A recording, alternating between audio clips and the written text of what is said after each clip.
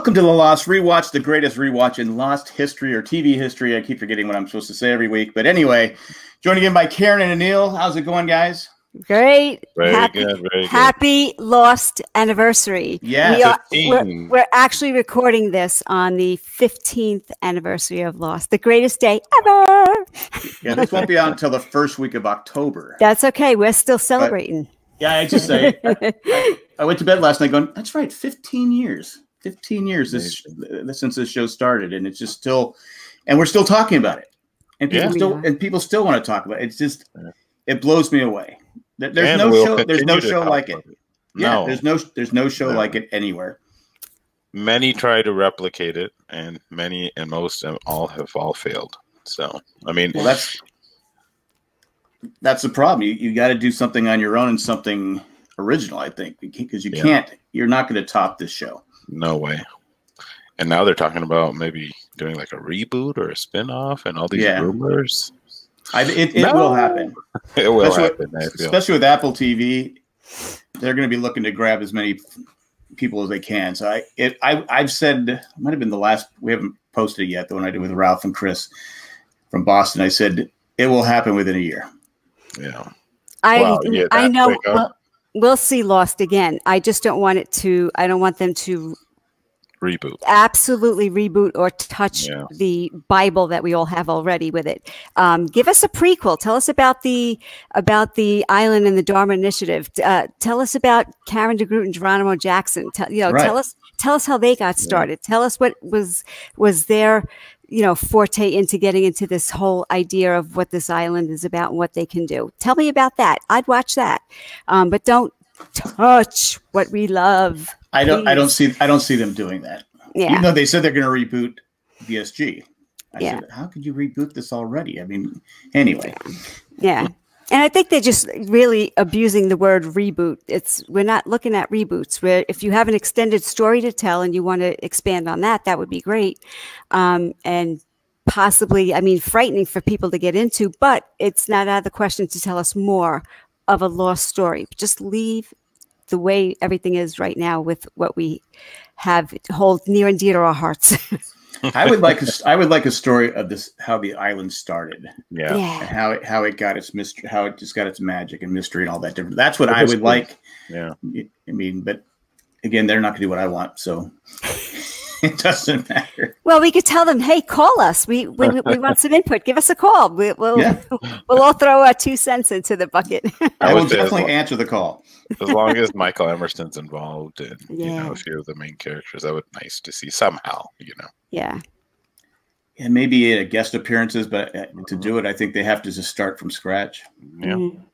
definitely. I mean, well, depending on what's depending on which direction they're going to go. If they're doing it after right. VCR Losties, then yeah, you could have Michael Emerson and you know uh, all the other characters that didn't move on. I guess they could have them, but uh, uh we'll see. Um, like we start the show every time, Anil, tell us how you got into Lost. How did you start the O- O- uh, ODI podcast? Tell us your history, Well, bank accounts, everything like that. no, okay, no, no phone numbers. No bank um, I always told people, whoever my podcast partner was at the time, if there's any hate mail or emails, and I still uh, help. We used to, we were recently doing the Spoiler TV podcast. That's a little plug. I know you said do you have any bu- plugs, but um, whoever sends hate mail, I would always say send it to Karen and Danny or whatever. never, never. I got a lot of hate mail. but good old MySpace, you know, I would say right away, season one, two, the mystery started building right around these episodes that we're going to discuss. You know, it starts to really grab you, and you want to start going, looking, and talking to friends. And it started building that community. And many of my friends, they were into sci-fi, but not something like this, watching a show so religiously and trying to solve the puzzle. And I can't remember who it was, or I just happened to be on MySpace at the time in the early days, and I found a forum for Lost. And the rest is really history. I start building the friendships, and I know in the previous podcast you guys have talked about community, and it's uh, like every one of us, anyone I've ever spoken to, any fan has always talked about the Lost community and the bond. Like you hear fandoms today, they're ready to fight divisive. Like there's good people who love it and hate it, like Game of Thrones or the new Star Wars movies. Anything Lost is you pretty much unanimous love for one another. Whether you like the ending or not, that's a debatable thing. But we all have this really big bond and community that has changed our lives, you know, for the better.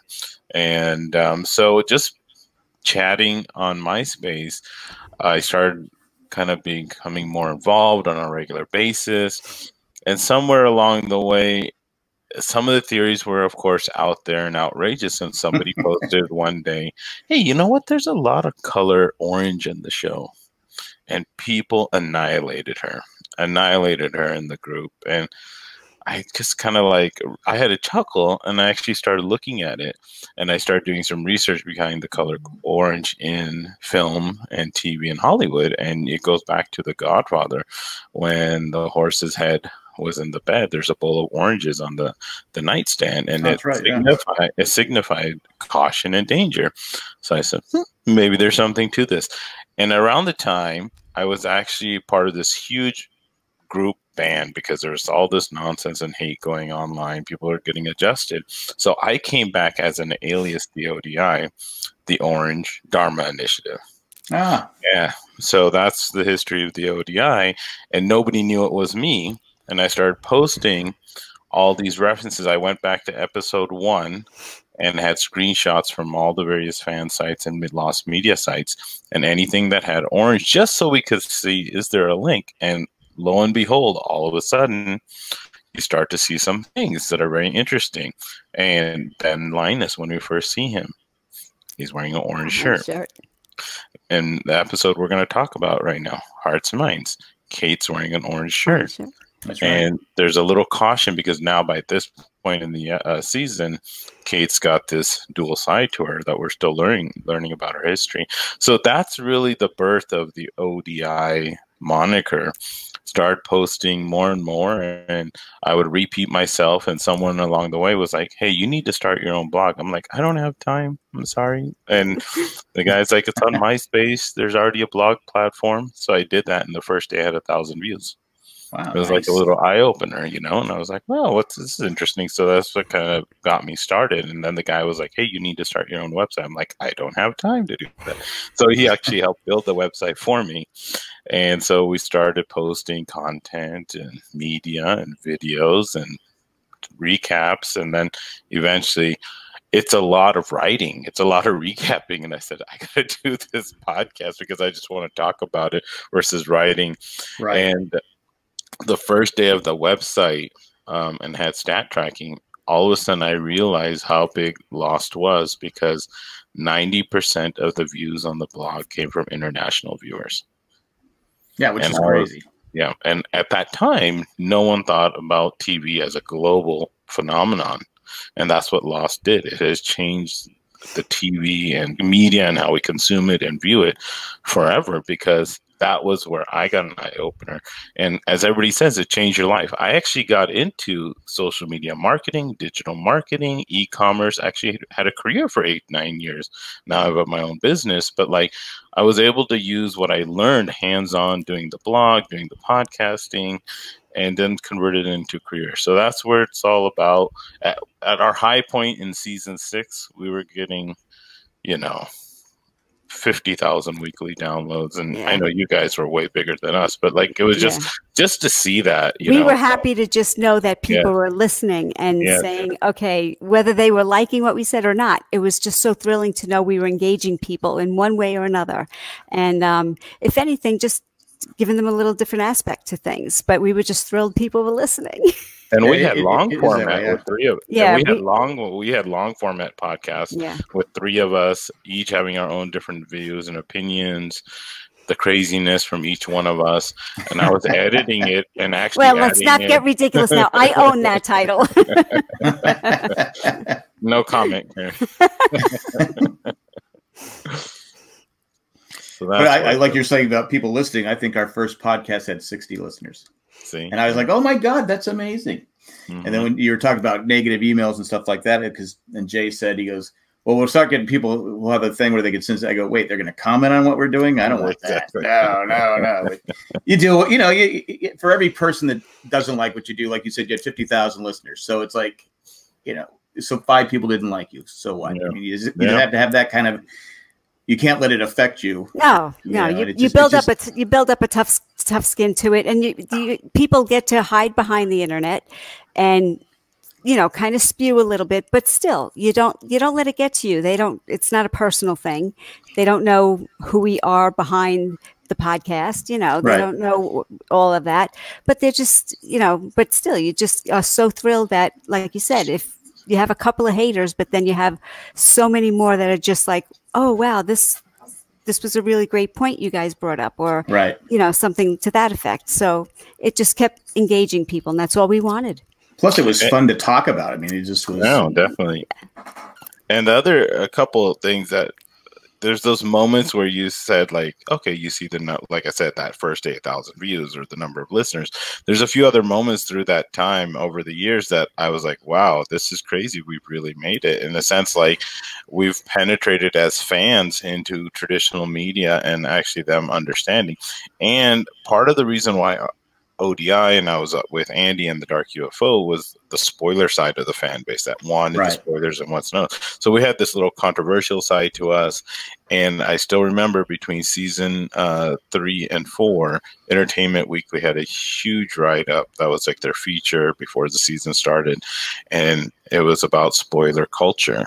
And I was referenced by the writer as Mr. the ODI causing controversy online with you, you. so like those little moments start happening and you're like, wow, this is crazy. And that's actually why my email at the time was Mr. the ODI at Gmail. So I gave my email out. It's no longer I don't use it that much. But it's just kind of cool moments. I, one final yeah. little story, season six, when uh, Karen had come out to the West Coast and we went to some events, we were chatting and someone turned around and goes, wait, are you the ODI? Are you Karen from the ODI podcast? Just our voice. they just they just heard our voices and realized that's who we were. so that's it's funny. When, it is fun when you get recognized, isn't it?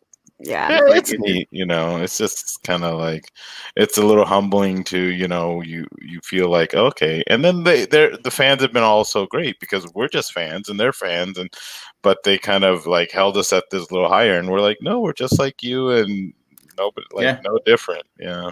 So. I, I, my favorite story is I was at Comic Con and uh, somebody was wearing one of our Jay and Jack shirts. Nice. So I'm sitting there. I'm just I'm just sitting there. I go, yeah, it's a nice shirt. And he goes, yeah, it's a podcast I listen to. I said, all right, cool. and they walked away.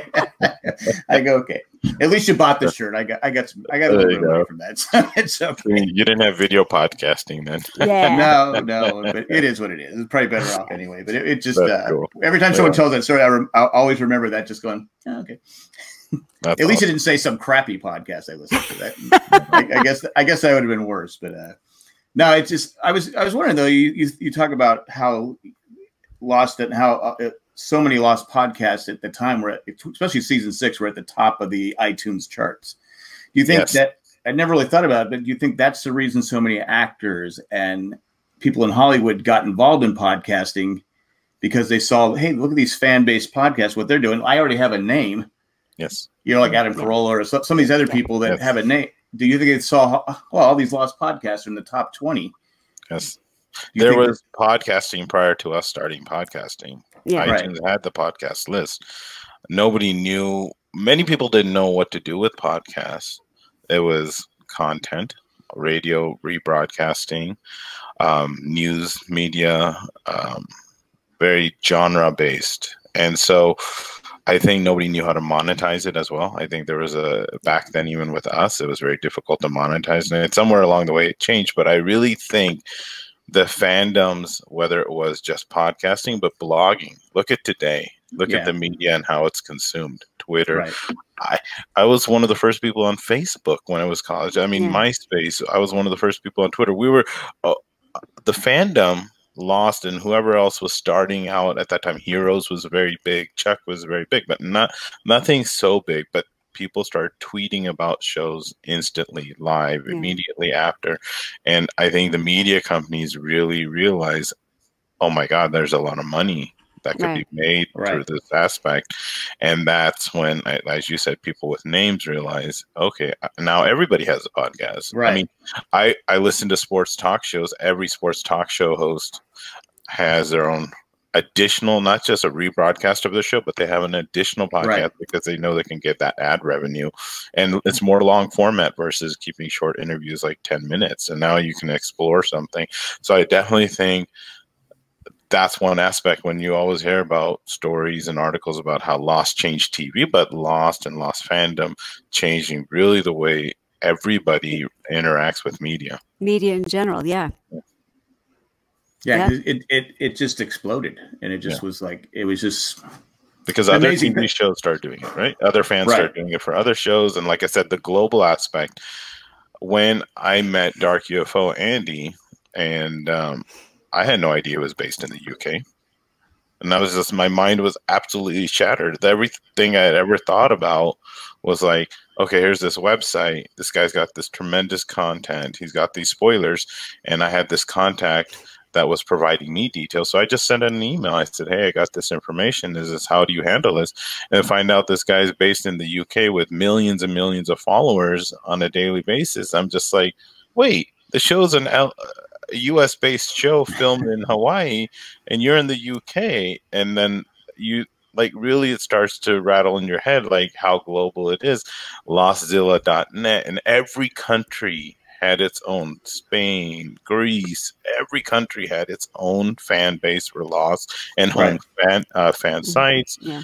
and it was just, um, I mean, from you guys to Ryan and Jen in Hawaii to the Fuselage to DocArzt to Karen had her own thing on MySpace, and Karen I had my that- blog. Yeah, yeah. my blog was just starting then. It's like, how do you even get that going? It's a lot of writing, and it was I I detailed episodes and recapped and gave my own two cents and stuff. But it was a lot of writing, and then we would. It was a it was Anil that kind of nudged me to say you need to keep doing this because you're paying attention and people want to read what you have. And I was I fought him for a while on it. I'm like, why why does anybody want to read my notes? Because my site was not written as if it was I wrote an article or anything like that. Okay. Mm-hmm. It literally was my handwritten notes as if you were in class jotting down every other word, you know, what every other word or just blurbs of things. So I'm like, who's going to want to read my just notes? And I think that that's what made it a little bit more unique was because it was raw and it was Right. exactly the way that I put it out there. And and it grew over those years. It grew, but that's what we we also it also helped me I think be a better podcast partner in the ODI. Um, and that was helpful because I was always You were a prepared. star from day one. I You was were a star- prepared. No, You I were a rock star before you started this. Don't forget that. I, I just took a lot of obsessive notes. That's all. Which we have for tonight's episode. Yes, right? we have notes. well, that's We good. do. Are you guys ready to get into the first episode? Sure. Yes. It's We funny because I, I've talked about this every week. I kind of forget some of the stuff. 'Cause, like, Yeah. you forget what order you, you remember what you remember the scenes, Yes. but what episode was it in? And I go, that's right, this was in that one. That's what. Oh, this was in that. And I, oh, well, that was because I was talking with Ralph and Chris last week or a couple days ago. Mhm. But it was uh, there was something that happened. I go, yeah, I forgot that happened so early in Yeah. Yeah. the hatch. Yeah. Then fi- you know, Locke and John, Finding uh, Locke, early. Locke and Boone finding the hatch. It was like I Yeah. forgot it happened that early. Yeah. But anyway, let's get into hearts and minds. What are your thoughts um, about the episode? Any any? Uh, There's a anything you wanna lot. talk There's a lot of thoughts. I'm very. well, First of all, I think you had mentioned Jack that you had uh, not really gone back and done like a rewatch until you really kind of started this. And I- I've watched sporadic. It's been about episodes, four years. It's been Yeah. about four years. But I have not watched these episodes maybe for ten plus years. it's like I don't even know you you people. No, What's going on? forget like once the show stopped then life happens i have two kids now and you know i mean it's not and i i kind of remember it and we have these other discussions with karen and so but like watching specific episodes like hearts and minds and special i mean i haven't seen these episodes in years so i was really watching this with a fresh eye and the episodes hold up as you mentioned in prior uh, podcasts the quality and what have you but learning all these different clues and seeing John Locke in his mysterious ways and the smoke monster and what's going on, oh, Okay, Karen, I'm I'm excited. No, that's okay. It is exciting. Pictures is up for it is exciting. Um, well, because this episode, we, we we're seeing the pain of the heart fighting with logic, literally hearts and minds, and that's that's what this is really engulfing. Um, and again, no secret, they're learning to let go of the emotional pain, hurt, and attachments. Um, is it seems to be the goal of what's happening on the island? Okay, so a couple of key things to point out, and Jack, stop me if you've got these on your list as well. Uh, Boone sees Sawyer in the background at the Sydney police station. Yep. That's pretty important. So we have our flashback Yeah. and we're already starting to see that there are connections being made that again things are not what we think they are or what it seems all of a sudden they're connected You know, Was that I our did make first? a Was that our first? Because I haven't watched the other recent ones. no. We can't had remember. um. there was one prior. I think there was one prior to that. Okay. I'm trying to uh, remember. Like they're all kind of. But I did want to Yeah. say I did. I did watch Boone's face to see if he actually looked at Sawyer. Oh, Reacted. right he just kind of was like he knew he was there that was more Yes. for us to know Right. that he was there Because you, oh, how did you not recognize him? But, Yeah. right but, right. But they, they did a great job of, you know, they knew ahead of time what they were going to do. Yep So, but I'm watching this going, okay, did he see him? Did he see him? Okay, no, he didn't. right right another little blurb that just happens while he's in the police station is uh, we discover shannon was married but she's not married anymore obviously Right. that meant nothing in the long scheme of things but it was worth noting um, That it's not his real sister. It's well, we know that. we know yeah. that they're stepsister. Yeah, Your- their sister. step. Yeah, Their stepsister. step. Yeah, yeah. Um, we uh, we we find that Boone's issue with Shannon because this we start to see Shannon. We know she's a she's a manipulator and she uses people in a way to help her survive. We that's pretty much been established. Right. Um, but she also has a hold over Boone because she knows that he's in love with her. right. So she uses that to her advantage through their whole relationship. Um, and Boone is obsessively in love with her. In some way, he's got this attachment to her. So he unfortunately likes to just be there to rescue her. But we're seeing here too in the flash that he's getting annoyed with it. He's getting annoyed. I'm paying off another guy to, Right. le- you know, leave my sister. I'm, I'm coming to rescue you again, and this and that. And then they have an intimate moment together, and she tells him, "We're just going to forget this never happened." And when he says, "Sure, like it's all up to you," I think was finally his point where he realizes, "What am I doing here? I've, this is Right. this is bull. This, she's pulling all the strings, so to speak." So, I think for me, when we get to the part where Locke gives Boone this experience, Was it Locke or Smoke? it was Locke. No, it was Locke. it was Locke.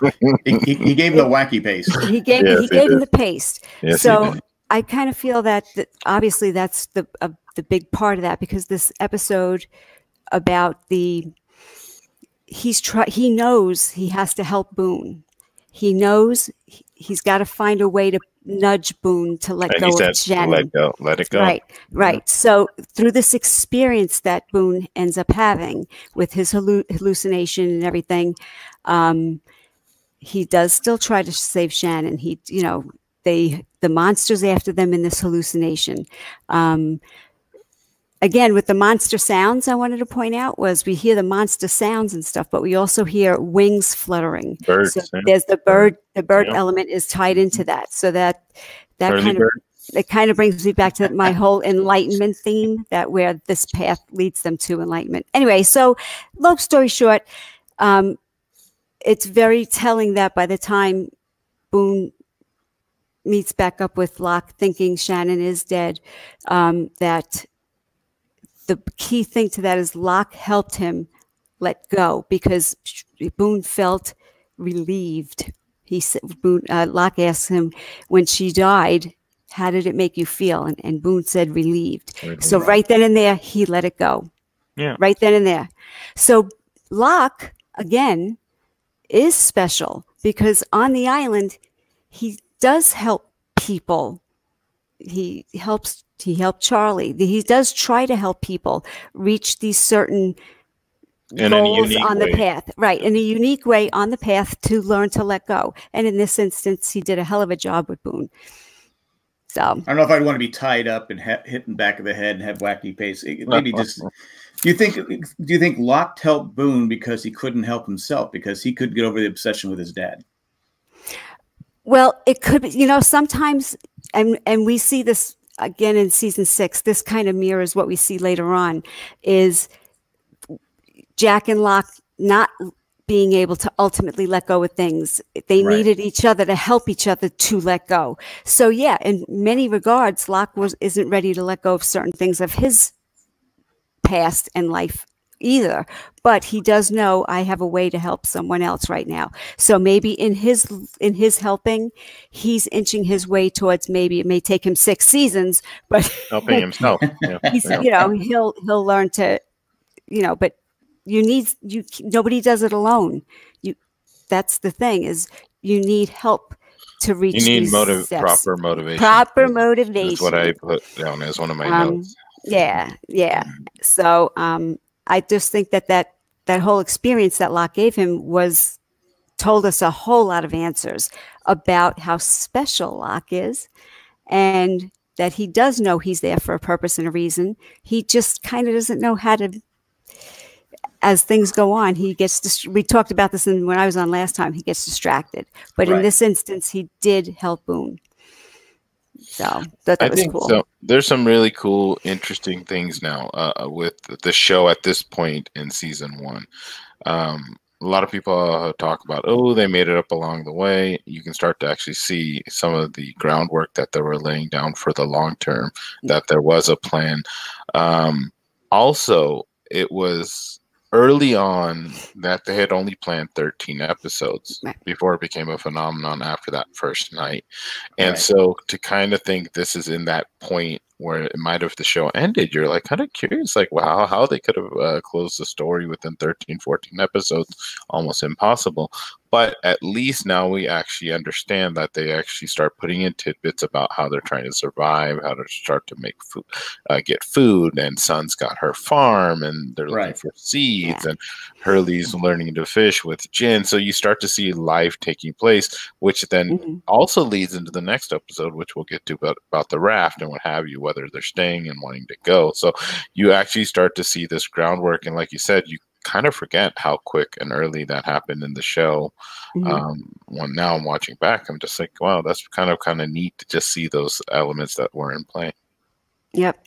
Well, talking it, about, go ahead. Go ahead. Go ahead. I was going to say, do you think it was a big mistake for uh, Boone to threaten Sayid?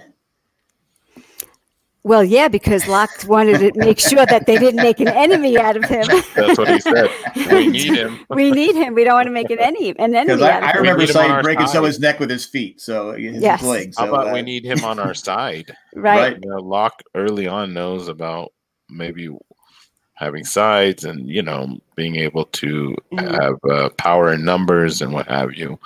One thing I thought was kind of neat was the moment when Locke kind of walks up on Sayid when Sayid's trying to build the compass. Mm-hmm. He's like, "You snuck up on me," and he goes, "I'm kind of sneakier like, than I, sneakier than I give myself credit for, or something yeah. like that." Yeah. Maybe he is a smoke monster at that moment. Mm. Maybe. but what's interesting is he gives Sayid his compass. compass. that he doesn't yeah. need anymore because he knows where he's going on the path. Um, and that How does compass, he know? well, that compass in turn ends up not really pointing true north. So, metaphorically, are you trying to tell us that it's Locke's compass that's a little off, or off. all of them? Their their compass, their own compass, metaphorically, is off a little bit. Obviously, we know the island has issues and but magnetic again, I think this is Locke trying to help. I think this is he is trying to help. He's trying to give that compass to him. Right. Whether he you take it both sides. You can take it as a fan and say Locke doesn't know anything about this compass not being triangulated properly and working mm-hmm. pro- properly magnetically and honestly wanting to help right. Yeah. But I, I take it more as in he knows it's not properly working and he wants to give that piece of element to Sayid as a clue to say, oh, mm-hmm. oh, this guy's smart enough to understand that this compass is off and there's something more at right. play in this island. Good. So that's how we take Good. it. And mm-hmm. so that's him helping and yep. uh, so I think that's continuing that theme right there. Absolutely. Do you think that Locke, when he says we need Sayid on our side, was already understanding that he was going to have friction with Jack? I mean, they already had some run-ins that, that he needed. He was going to get the numbers in case Jack didn't do what he wanted to do. Man of faith versus man of science. Exactly. So they were setting it. I think they were setting it up from the beginning when he, you know, he makes that comment. We need Sayid on our side because Mhm. we need to have the numbers. And I think he knew down the road that Jack was going to be. They were going to hit heads, which they did over and over again. And they also have that. I can't remember now because I watched both these episodes back to back. Was it this one or is it in special? I think it was in special. We'll get there where, you know, Jack finally goes and talks to Locke and says, "Okay, what's going on? You guys have been going out there." And so I think they definitely let the laid the groundwork for this uh, Man in Black versus Man in White. Good. It was this evil. episode. It was yeah, it was this episode because I yeah.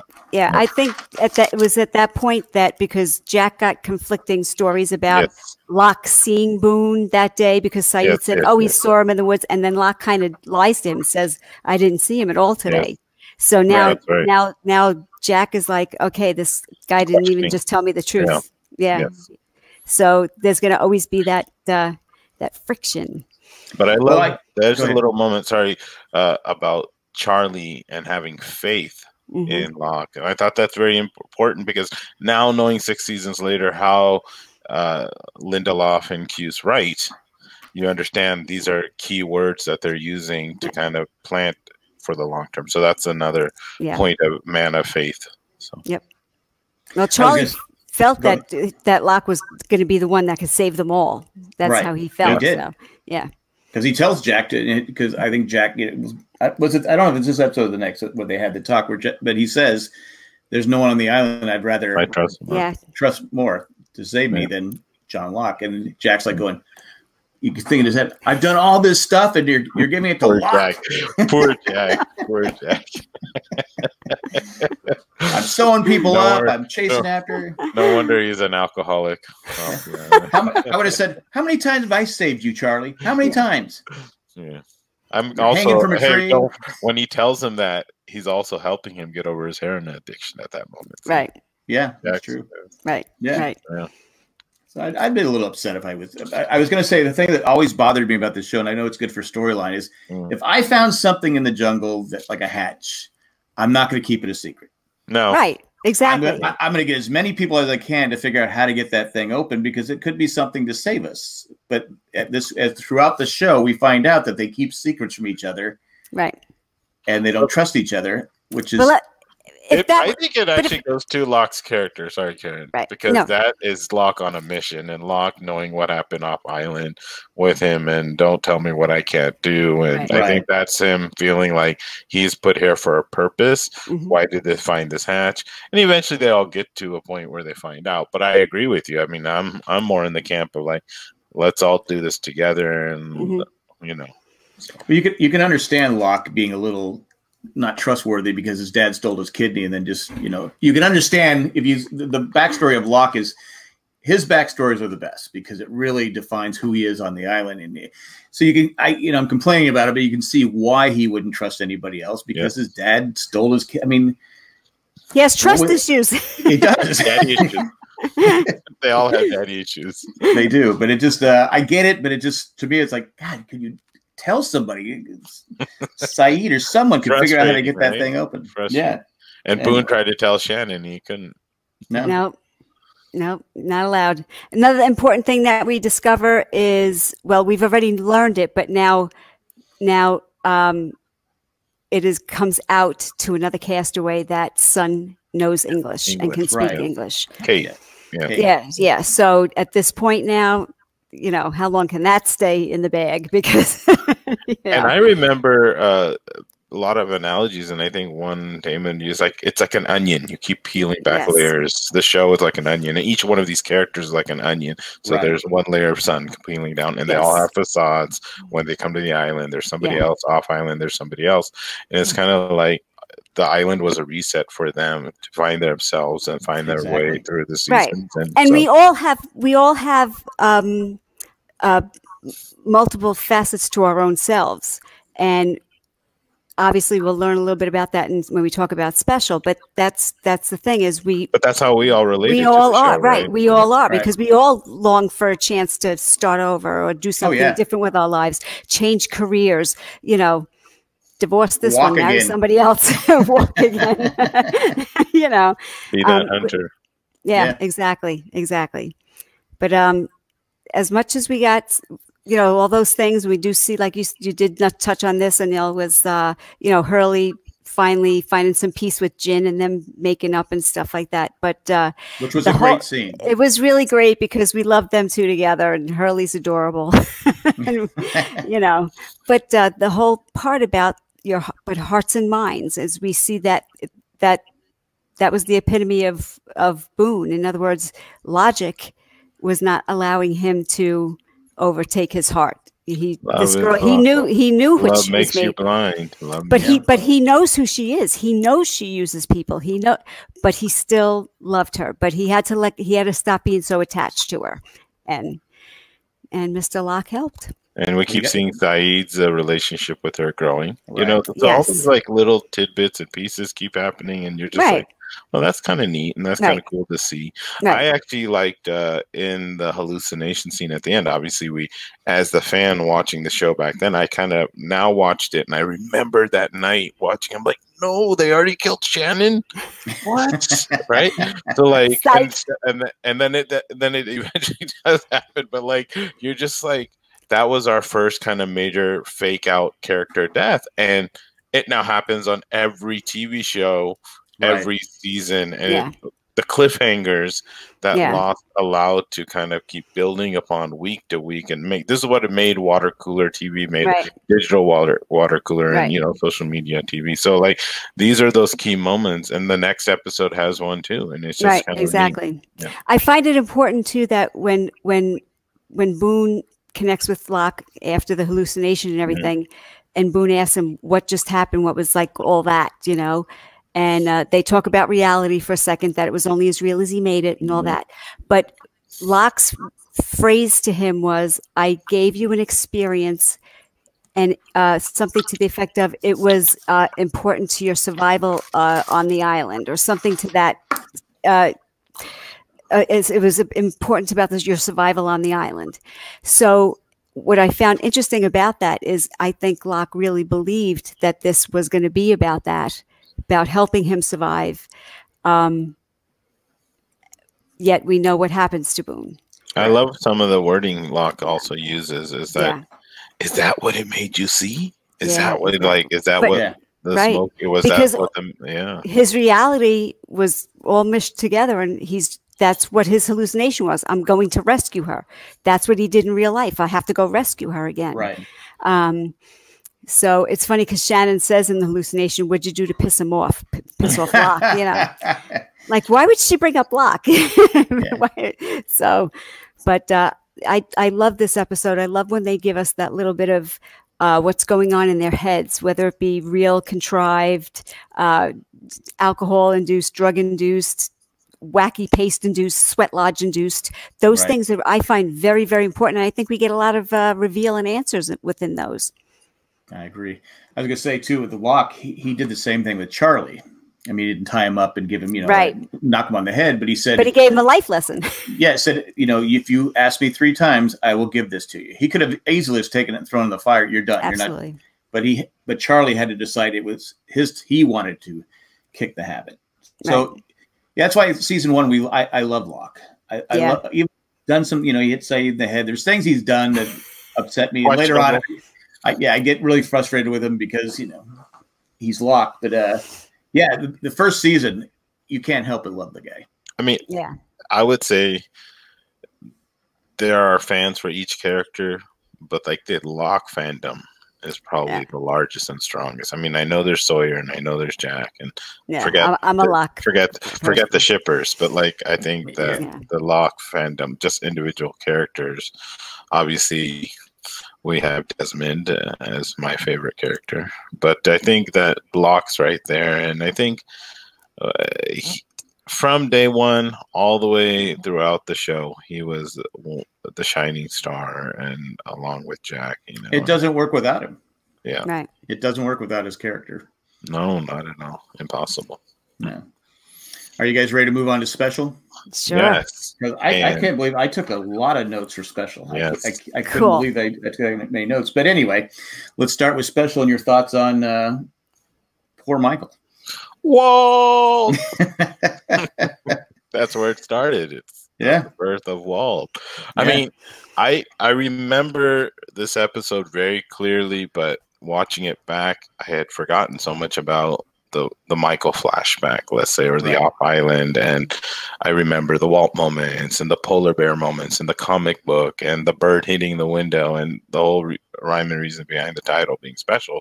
But this is besides the smoke monster, we knew something was up, and back then everybody was like, "Is it a dinosaur? What is it? This and that."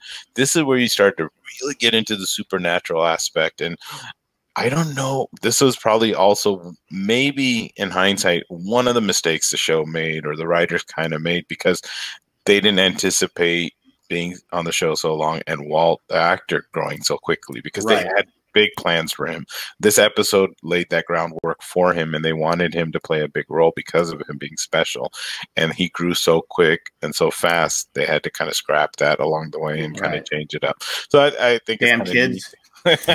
it's kind of neat to go back and like see that now and how it was laid in. Uh, but wow, what a fun episode and a yeah, unique episode um, to kind of as a father now. I wrote this down the notes uh, like one I, I i underlined it like i actually when i watch the show back then and even michael as a character i think many fans were like eh on michael and he's not the best dad or he's kind of like the not making the best decisions but now i see like putting myself in his shoes and just like oh the pain and the hurt watching yeah. you know brian porter wanting to like at the end say no i you know hey uh susan wanted you to take care of walt. And you can oh, have him no, back first of all him being pulled away and oh my god it pulled at my heartstrings karen and uh just well to find to find out that that you know all michael wanted was walt in his life yeah. and brian didn't want him at all yeah. But Brian had his first, you know, first what nine years of Walt's life, he had him, yeah. and it just it was it was a messed up situation. It's almost why you can see why he. It's like what? Why was he so? Because before you watch this episode, you're like, why is he so angry at at, at Locke? And you can see it. He was worried about losing. He was threatened. Walt again. He was, yeah, he was yeah. threatened. Yeah. And this uh, episode did a great job of showing that. Okay, I Perfect. get it now. But again, Perfect. see, here's here's a, a, another example of uh, Locke trying to help people. I right. mean, Locke, Locke, found the damn dog and brought it back to Michael in, in the mm-hmm. beginning. yeah. You know, I mean, he's can't. How much does he have to do to prove to Michael that he's trying to be nice and help? Um, but this episode too it gave us a a a view of how special Locke is. He, that he gets to take time to uh, show Walt how to throw knives that are not in a tree, but it's not just throwing knives they're not in a tree it's about um, proper motivation. well proper motivation but also opening your mind seeing the path. He's teaching him how to use uh, things that are bigger than him. Yeah. Right. But it's it's things bigger than him and it's really cool to see that he was trying to nurture that in him. And uh, again michael felt threatened and said no way no, that's not happening. So does walt have but, superpowers karen he it's not superpowers no. Supernatural powers. He just was more ability. open ability. He was more open-minded to uh things. so well, I think that, that enables you to do things. Scientists say, you know, we only use a certain, a very, very yep. minor part of our brain, and if we're able to tap into even one percent more, we actually yeah. gain these super abilities. And the folks that have like super strength and endurance and whatever are those. So in the sense, like this island magnetically was making some changes and right. affecting people, and Walt had something off island, which then was enhanced, and mm-hmm. Locke realized because of his experience that if he could just make people open their eyes and right. look the path, and that's how Walt was able to. Well, how do you feel about this, guys? So we we we see that Locke wants everyone that they were all brought there for a reason. We had this speech. We were all brought here for a reason. Well, but that didn't right. happen yet. We didn't happen. We just know that that's the case. Okay. Um, that comes later. But he still does know that they were all there. We came here, miracles happened, mm -hmm. wonderful things happened. So we all must belong here for right now, for a reason. So Locke doesn't want anybody to leave the island because he knows that whatever they all need to do to heal has to happen on this island. And the person that is clamoring to get the heck off the island is Michael. Right. Michael doesn't want to be there. He doesn't want to grow and he doesn't want to let go of Walt because he wants to take Walt with him. I just want to take He doesn't want to lose Walt Right, again. right. So so that's kind of you know closing like, off I- the whole idea of, I kind of of I understood what his thought process was. Too. Right. Like you guys are As like a accepting being here. You're accepting being here. You're accepting like no, like let's do something. We Right. need to get off this island. This is not our home. I Right. missed nine years of my life with my son. And I don't want to spend the rest nine Yeah. years or 19, 20 rest of my life with my son on this island, having to deal with, uh, you know, these type of situations. So, Well, he even says, I think he says, I, I don't want him being He- raised here. Yeah, Or he can't grow something to up that effect. here. He Yeah. can't grow up here, which Yeah. is, I and I always liked Michael when he. I always said, I go, yeah, he's the only one sitting there. You know, we're building this uh, uh, showers, Right. all those different things. yes. Instead of figuring out a way to get off the island, and I said, come on, you- Gilligan, we got to mail the raft. exactly. So I always, I always applauded Michael for that. Yes. I said, yeah, you, you're Yeah. doing the right thing. And found out later on he can't, but he was gonna. And then we find out later on he does get off the island with Walt. Yeah. So it didn't work out so well. no, quick question before we go further into the, the episode um do you how how does walt uh, sorry how does locke know that walt might be able to open up his mind and is open uh, to kind of being taught about opening Probably because he's a child. Ch- children Yeah. are not jaded. Yeah, children are not jaded until adults jade them. So, um, probably why he picked Boone. yeah, Yes, because yeah. because Boone was young and precious Yeah. and could be and and had and had a purer heart and a clearer mind. You know, everybody's Charlie everybody is flawed. Everybody's and flawed. charlie's young but- and vulnerable Right. vulnerable yeah Right. And they were they were ready for certain uh they were ready for things to to let go of at that point. So maybe he Right. he he saw that okay, you know what, this this one has an addiction, I can help him with this. This one I can see he's attached to his stepsister unhealthily. You know, how could we address that? And he found Right. a way to get to that. And Walt does have potential and he wanted and to help has in that. daddy issues like locke did Well, yes, of Yeah. course. Yeah. so he Plus, him and Mi- him and Michael, I'm not him and Michael, him and Locke, John, and Walton and Locke had talked a lot. yes Yes. I mean, so they, cause he even says he goes, built the bond he, he he listens to me. Yes. You don't I- listen to me, right. Yes. Right. And and he talks to him like an equal, not a child, you know. right? Um, so a lot of that uh, uh, communication things Michael doesn't have. He didn't. He doesn't know how to be that to Right. Walt. You know. So, but just like Because every he, he, parent, his his Walt was his it was a baby, Yeah. you know, so that's all he remembers. right? Exactly. I had Um, a couple of notes Go. Yeah. Uh, this is where actually when you start delving into the show, like we were obsessed. Um, camera camera angles, things in background, um, those controversial, uh, not controversial, but more like butting heads with Michael and Locke. Locke's angle was always kind of towards looking down towards Michael and more menacing, and so I love the visuals that the writers and the Yeah. you know directors were doing with that. I put that as a note, but in the baby Walt was wearing an orange shirt.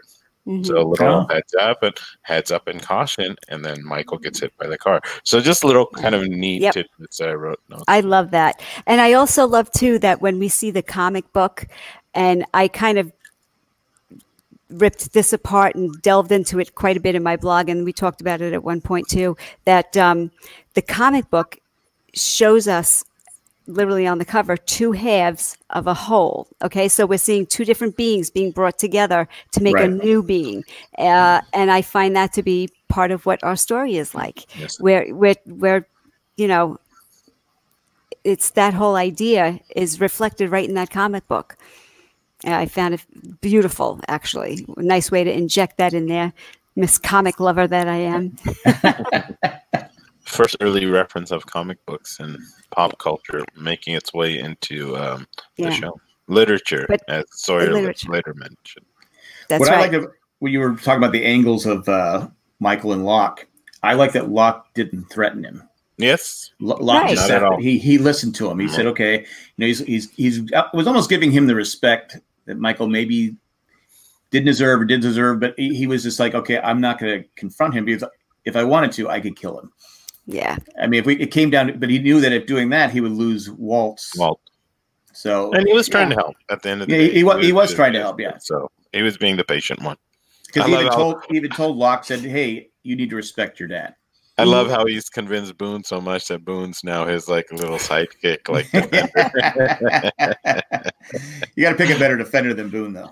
no, definitely a wingman. Yeah, Boone's Boone's not a bodyguard. no, not at all. Poor Boone. Poor Boone. Poor Boone. Ah, no, poor Boone. Well, he has now that he's not obsessing over Shannon, he needs something to do. So they'll just keep digging out the hatch. Yeah.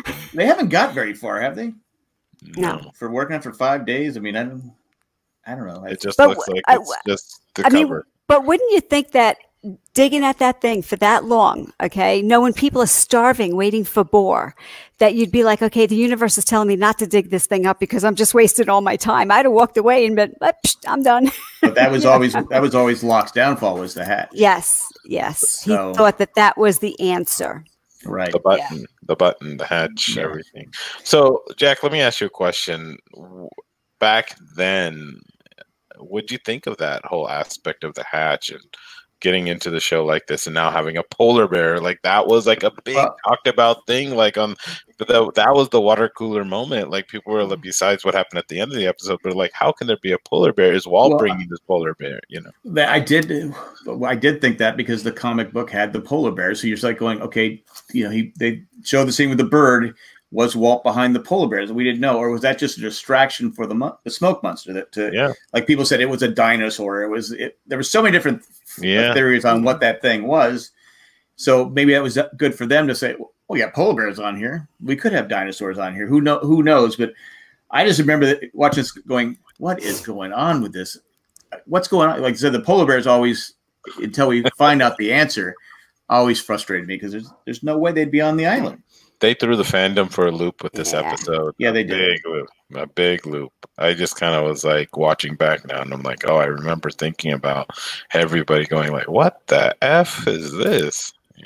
Plus, you also thinking the whole time that, that that Michael is a bad dad. That he doesn't, he didn't care about why wasn't he in his life, what was going on, you know, the whole thing. And even when he go, he goes and he meets up with, he goes to Australia and meets up with Walt. He doesn't tell him that Brian doesn't want him anymore. Yeah. He takes the blame. Well, you know, he wanted you, but I have custody and I'm going to take you. Get making it harder for him, but he did the right thing. Why, why kill a kid? You know, why Right. he did the right thing. So he was, you know, it's, I never blamed him for not being, you know, I always blame Susan for it Yeah. Yeah, because I, I do think it was her fault. that, um, selfish. and she and she sent he sent you know cards and stuff and never showed him to Yeah. Walt. So she didn't want him to have any kind of relationship with him. Which is heartbreaking for both of them. Right. Karma. Exactly. Karma. Exactly. It, that's a perfect way to show that angle of karma, which we get in our story throughout often as well.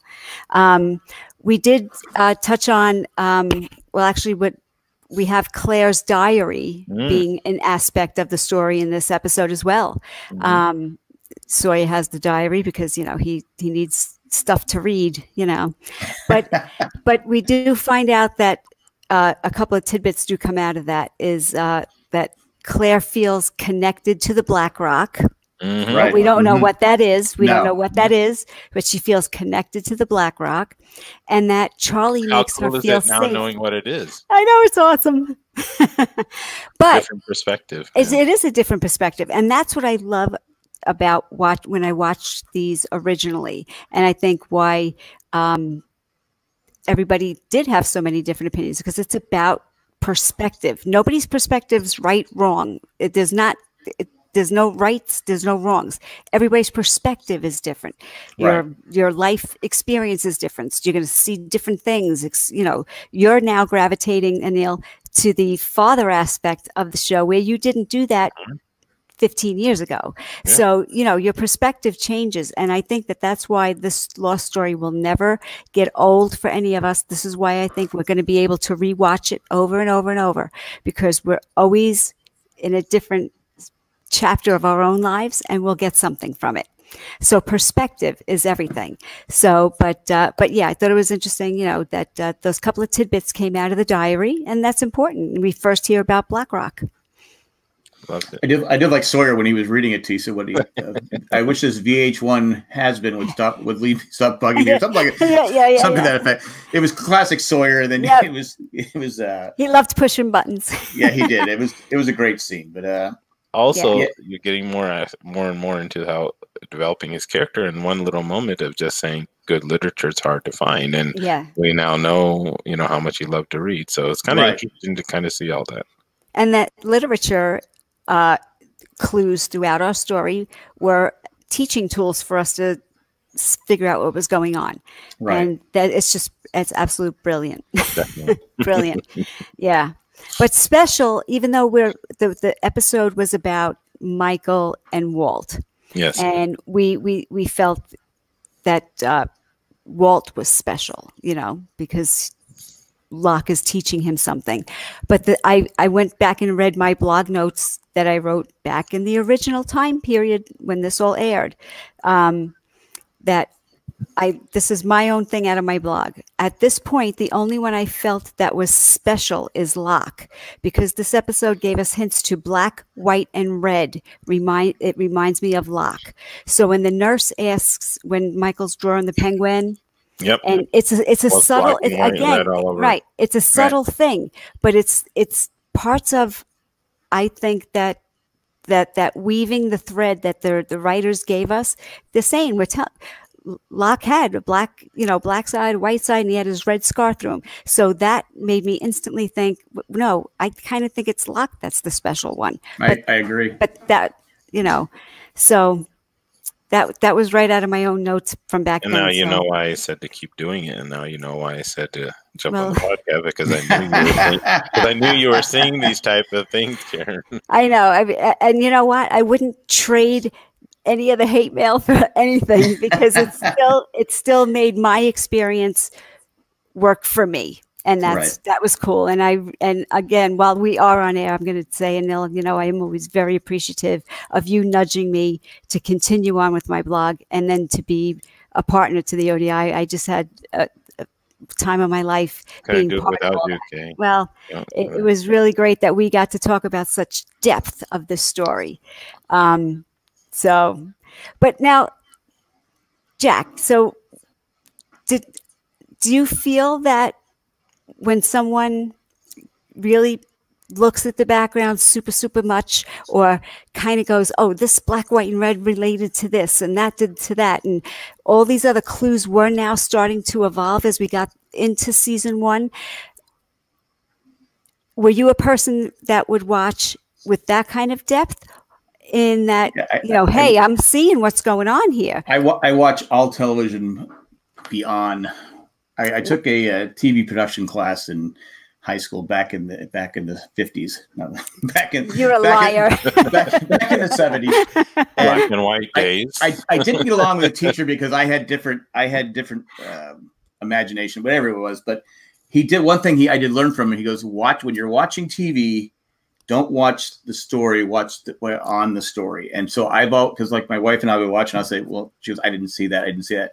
Just watched Downton Abbey the movie, and I pointed out something that she didn't see that I saw, and I don't want to spoil anybody. It's not it's not a it's not a big spoiler, but just something that, that I noticed.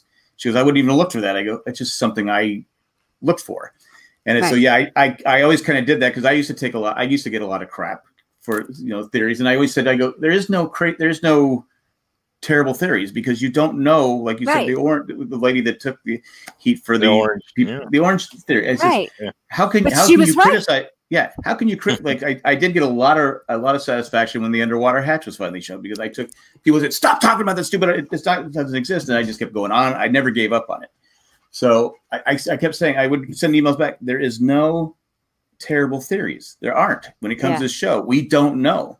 The same thing happened to me with with one of the things I touched on in my blogs early on, and I mean, probably in probably a couple of the early ODI uh, podcasts was that um, there, there, there was a game element going on, and it, there was there was a game element if you looked at it from that perspective. That doesn't mean that that's what's happened, but just means that that idea was there, but also that things were going on in their heads and things like that. Well, every Right. episode said something is we're telling you this, but also computers being involved or this was happening or this was and i'm thinking well by the time we got to season five six we saw room 23 where everything was going on in their heads. They Right. were programming them. They know this was that was it. So i'm like okay the hints were there. Maybe i had it laid out in the wrong direction but the, the hints were still there. You're crazy you crazy. know so of course i'm crazy. I know Well, look- well, looking back on it, they even he, they even mentioned one of the numbers because it had been eight years since since uh, Walt had seen. You know, wow. yes, it. Michael had seen Walt.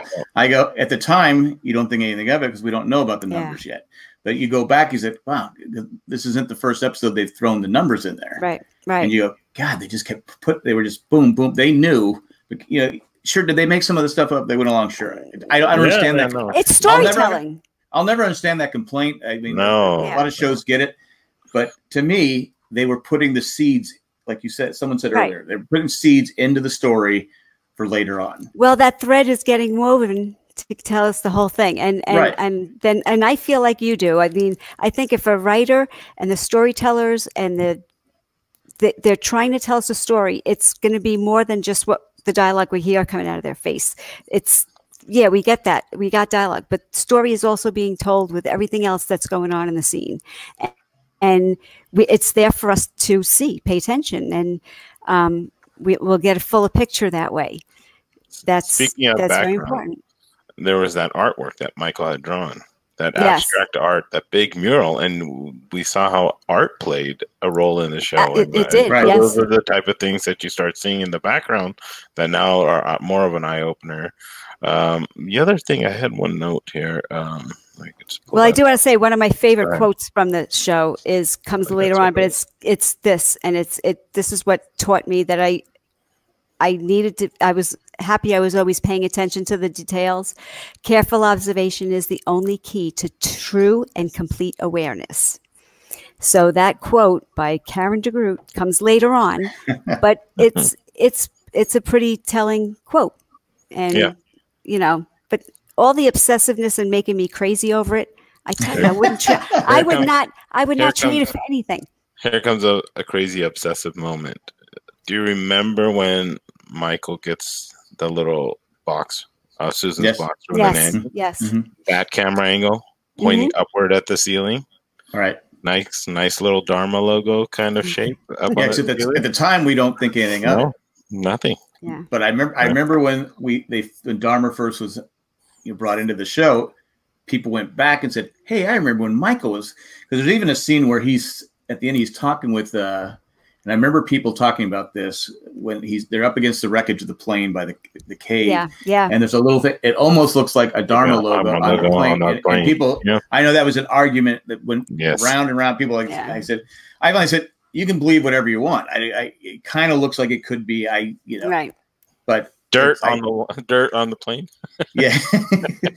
but it was like it was one of those things where people went back and it just like started picking, you know, season one Dissecting apart. it. Yeah, Yeah. it yeah. goes, oh wait, that that was there. That was there. Oh, they We said the had long numbers off here. seasons, Jack. We had long Right. off seasons. We did, we did. So it was uh it's just amazing what they did with this show. I mean, I, I keep I say it every week, but it just you watch Yeah. these episodes. Well, you just couldn't go, help. Brilliant. You couldn't. You couldn't help but get obsessed about the details because they gave you s enough hints to say, "Oh, I did miss that last week, but I caught it on the rewatch. So if I missed that, what else did I miss?" You know, Right. so that you now second second guessed yourself, saying.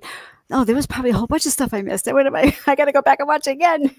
and and So- we did. and we, did. miss a lot. We did. I We would did. watch the show, jump right on real quick towards the later seasons, Yeah. post some stuff, and then I would rewatch it that night uh, because I had to get some stuff out very quickly on the blogs and what have you, trailers and you know some initial notes and thoughts, and then I would watch it again later in the week before we did our podcast, and then when I was editing the podcast, I was pulling audio clips to add into the podcast. I was watching it. So like I was just consuming this along the way. And not to forget every other day and every moment you're blogging and chatting, sorry, and posting It on because it's part of your DNA. Yes. It's in there. All of a sudden, you're Yes. literally absorbed in every bit of your being with it. So it's in your blood now. Yeah, That's- I, I know that's- with, with us, I we would record about a half hour after the episode Mhm. because because it would take Jay like three hours to upload the show, and he had he was in co- he was in college, College. so he had to go to co- he had to he, he wouldn't go to sleep till like four in the morning. And he Mm. had to get up like at seven to go to co- so we recorded. I'd be laying in bed replaying the episode in my head and going, "Oh, why didn't I think of that?" And I would remember something I didn't say in the podcast, but then we had the second one right, and like you, I'd watch it two or three times Yeah. again. Then you go, but I would go, "Oh, I didn't even think about saying that." That's probably what's going on with that. It, it probably was wrong, but it, you know, at the time, but it, you you think you see things that, oh, why Right. didn't I do? Well, we're always going to. I- have I that. We're always going to have the. Fir- we're going to have that first impression, that first watch, and you're going to go, okay. So you're trying to have it all gather in your head, and then obviously we you, you always with that show you needed to watch it over again and again and again and again and again and again. We, we had a few of those podcasts where we decided to like record right after the episode. I think one There was a couple of them, yeah, Yeah.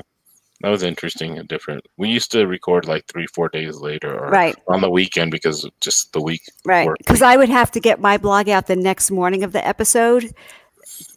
And it was, I was up all night and the part of the rest of the day. But it, like, again, it helped me be prepared for the podcast by the time we got to it. But yeah, but there was a couple of them that uh, I know s- somebody had wanted me to, uh, when the finale aired, um, wanted to get my raw initial Thoughts? reaction and thoughts on the finale and i'm like I, I can't i can't do that i can't commit to that because i need to first of all it was too emotional for me because i knew it was ending and part of my own life was ending with it and i just didn't want to get into You it had But to digest it. I uh, yeah, I can't give you that initial thing because my my first reaction is going to be just surface and I don't want that. Not when I spent this much time being deep with it. I you know, so it's hard to give that initial reaction. So, you know, I take my hats off to you and Jay because that's that's hard to do that right off the bat like that. Uh, we took some heat. There's no because people. I still remember this one email. I, it was uh, I told us earlier. It was the guy sent an email saying, "Why don't you blink and watch the show more than once before you record?" And I and I and I was typing up. My wife goes, "What?" 'cause I kind of angry as I typed, and she goes, "What are you doing?" I go, "I'm sending this guy a response back. Why don't you f and watch? Uh, why don't you f and watch the show?" Go listen to another podcast. And I didn't Yeah. hit set. She goes, "Look, do you really want to do that?" No. I said, yeah. I said, no. And then the guy sent him a, a, a note back three or four days later saying, Hey, I'm sorry. I didn't realize that was, I just started listening to you guys. I didn't know that was your initial reaction that you do Yeah. another podcast in a good way. I apologize. I go, oh, I'm glad I didn't do that. So, yeah, because literally the initial reactions are great for that moment, for that time. But then by the time you sit on it, you think about it, you rewatch it, you process it, and you're like, okay, I can get back into my own mode of the depth of it. Then, then it's it's a whole- I feel like I watched a different episode. So But now it's different, even watching like something like Game of Thrones, because people are doing it live. You know, they're- yeah, I, they're I live don't know how. they're Yeah. live streaming, they're live tweeting, and it's very interesting how um, it continues to evolve and change. Yeah. Like uh, watching TV. W- The final scene in this episode, Claire appearing cliffhanger. yes, we didn't Yeah, get. Yeah. yeah. And, Well, the uh, The funny thing is that it's Locke's handmade dog whistle. He Yeah. blows the whistle, and all of a sudden, there's Claire. All right, coincidence, but still, I'm like, wow, he's got a magical dog whistle. You got, you got, you got Boone's body, Boone the bodyguard going, Vincent? I just um, noticed I have this on public. So th- th- these things in the chat are people that are listening to us. Oh. I didn't, I didn't realize that. Usually I put it on private and I have it on public. wonderful. Did you? Oh, I can't see see that. anything. Oh, I you don't have the I- chat? I, Let me see. I see that here, there's live comments. I didn't click on it. Okay, Yeah, there we there you go. go. Well, well, I Helen, if didn't you're listening to us, that. welcome to Lost. Jo- join the pot, join our rewatch. We started uh, back at August 22nd. I was, like, I was like, those are weird comments coming from you guys. Why? I couldn't say nothing. anyway, normally it's on private, but that's that's my Yeah. mistake. I But, see uh, it says I see it says pu- it's public up there, but it's all good. and But uh, I would say from the cliffhanger moments, that was ooh, that was Claire, and then boom, lost the, Yeah. the title card showing up was Where like, was ooh, she? the- Yeah. So so impactful, and you all week long they hooked Yeah. us. They hooked Yep. us. Well, even now, because I I'm watched doing the rewatch and I stop after so I won't get confused. I was oh no, I go well, I got to stop. I I, know. mean, I know what I know what happens, but it's like Okay. you get You pulled see back in again. It's like I, I want to see it. I want to see it. I want to see it. But uh, it is I did, is hard sticking to the exact episode because we do our brain knows okay we uh, this is coming or whatever so right. but it's cool because you have to concentrate And I did want to point out that we did talk about a little bit. that Michael wants to build a raft, and Yes. you got Jack, with Jack Hurley, Charlie, or Kate. I can't remember who was there, but they're all looking at him like he was an, a Sayid. Yeah. yeah Like, what are you talking about? Crazy. You know, you have to find the cha- the shipping channel. You have to, I go, I go. Here's Michael. I thought he was making a great point. You know, it's like a, you know, great suggestion. Hey, let's build a raft. And they're all like just blowing him off. Even poor Wa- uh, poor Michael had to deal with the Walt also kind of blowing him off when he's like, "This is punishment." Yeah. Right. yeah well, to be fair, I go. I remember back in the day when my dad My used to own a dad would business, do something, and yeah. I used to have to get up like at four a.m. in this every summer and go work with him till like six at night. I go, what did I do wrong? What did I do wrong? And now I give I give any of those t- times that have take those times back and just like God, I was such a jerk.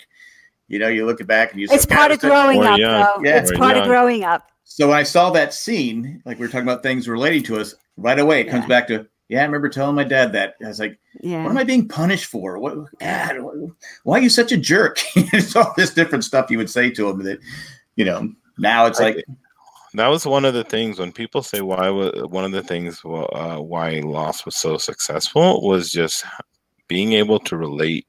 Every one of us watching the show could relate to the storytelling, to each, to various individual characters. The cast was so diverse. So whether you were an Asian fa- American, an Asian in Asia and China, uh, with Sun and Mhm. Jin, and you know, I I had Sayid that I was kind of like, hey, this is a guy that looks like me, you know, and what have you. And I think that and all strong these- characters too. yes, Not great. just I back, not, not no. just background characters. They're Right. strong powerful, characters. powerful.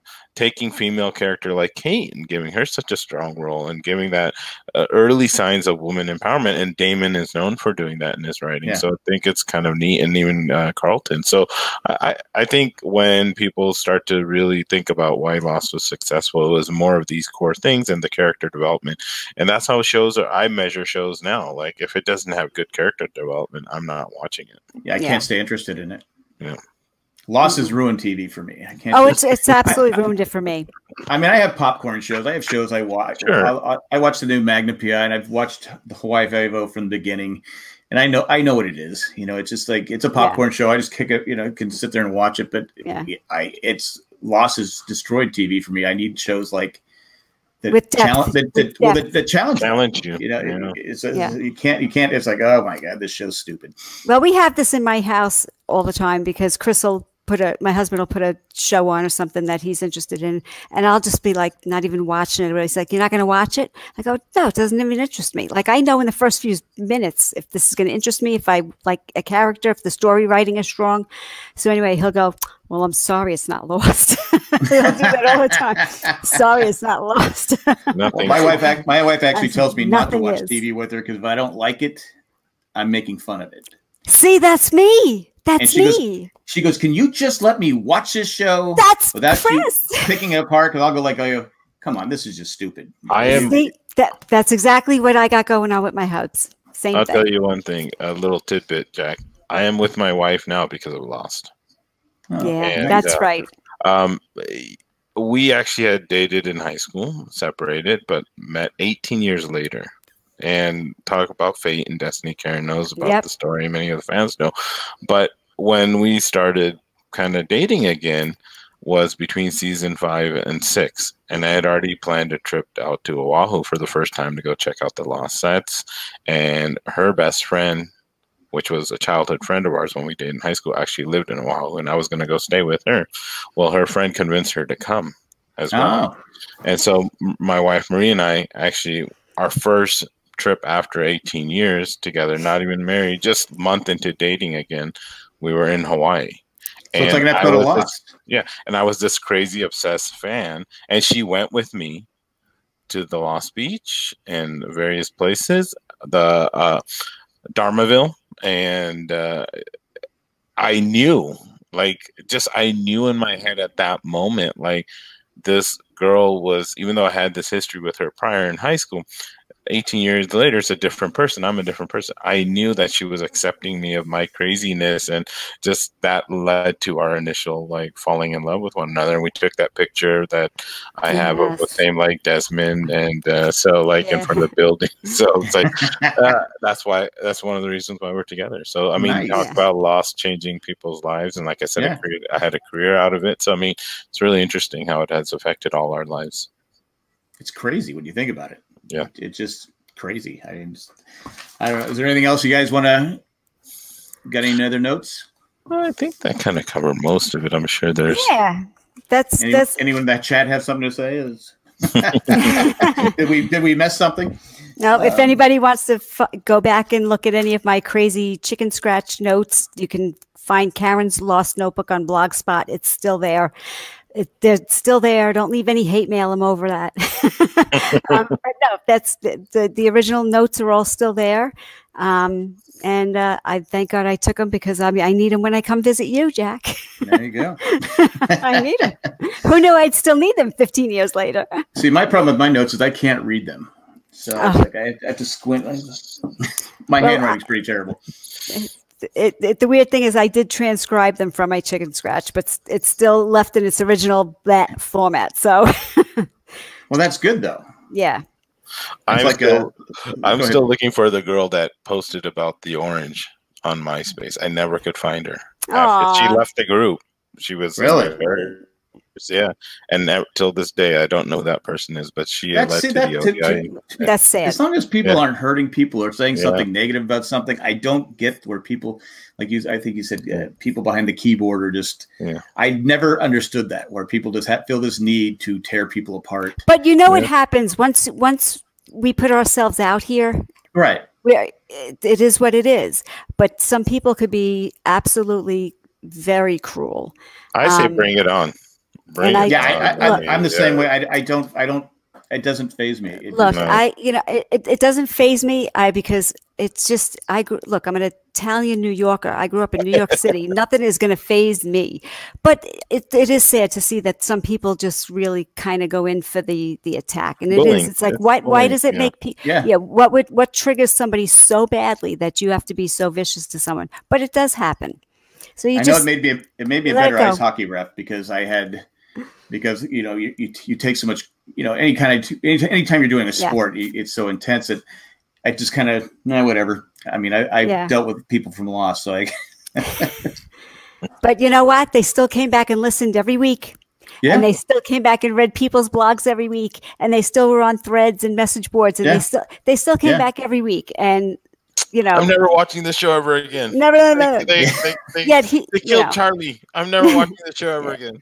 my Yep. favorite one consider me unsubscribed That's right. Yes, that's right. Um, I would I would always say I well send me send me a receipt of how much I charged you and I'll, I'll, I'll, I'll pay you back triple what I charge you uh, and they mm. just you know I just I just had Yeah. fun with it, it, just because it is. It's it's we're here just sharing the, the love. Okay, Yeah. that right? That's all we're doing. We're just sharing the love. You don't have to like it.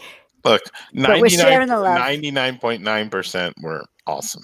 Oh, yeah. yes, Yeah. Oh, yeah. absolutely. and Yeah. still are Yes. It's still, yep, yep. I'm still friends. I'm still Yeah, friends. and Like we forget, just like I mean, I know Karen and I on the podcast, but I have so many Facebook friends from that MySpace days that Yeah. you know we don't Yeah. know each other's lives just through social media. and And, what you said around the world Yes. Around the world. I mean, it's just it's amazing how different countries it's like going, oh my god, it just it just can't say enough about this show Yeah. and how incredible it was. But anyway, I had a great. This was a great, great Awesome. chat. Oh, I had a great time, and Anil, it was great to see you again. Yeah, I haven't seen you. you. I haven't seen you in years. I know. Awesome. I know. and it, Uh, and, and uh, if you ever decide you want to kind of hang out with the ODI again, Danny would like to join us again next time. He couldn't be with us tonight because uh, family event up upstate or something like that. we'll, so we'll, def- we'll yeah. definitely uh, have But, you guys on um, again. yeah, but uh, we, we Looking I had a blast. Had a blast. Always. Looking And forward to it. You're Yes. amazing, Jack. Thank you so much. Thanks for everything. Well, I don't know if I'm appreciate it. amazing, but I'm. I You're guess amazing. I am. You're amazing. And that's this is and this is the world's greatest lost recap show in the Yes. history of yes, yes. Let It is, Tell, it is. tell Jane calling you. I said hi. I will. I will do so. I will do. seen- Haven't that. seen them in a while. Yeah. I, I Thank see him a you. lot. I see him a lot. So Oh. I, I guess I'll say something. But anyway, thanks for taking time out of your night uh, Thank to you. join us. And our last fan, the two people in chat. Hey, thanks for joining us. There you go. but that, that's it. This show will be up the first week of October. So Awesome. that's all we got. Namaste. Namaste. Bye, everybody.